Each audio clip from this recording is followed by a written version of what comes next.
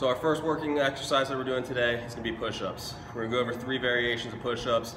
They're all the same, it's just basically based on your level of strength and, uh, and fitness to it.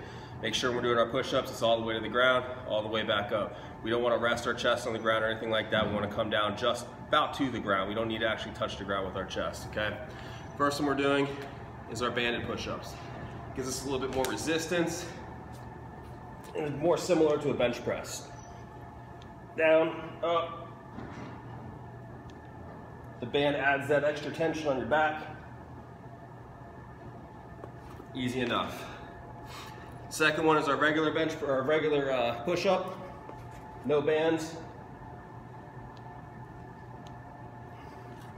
And then third one, if you're having a little trouble with that or you can't get the entire set done, we can move to the knees on the ground push-up, which is gonna be